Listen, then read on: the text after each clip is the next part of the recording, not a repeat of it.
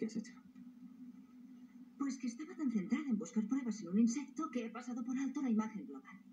¿Cómo no te expliques? La mosca de la herida del señor Crowley fue golpeada a alta velocidad, pero la cabeza no muestra ningún impacto.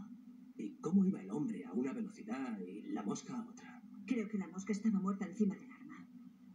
¿Y se transfirió? Sé que mi cálculo es correcto. Lo que golpeó a esa mosca iba como mínimo 64 kilómetros por hora, como el parabrisas de un coche. O el motorista.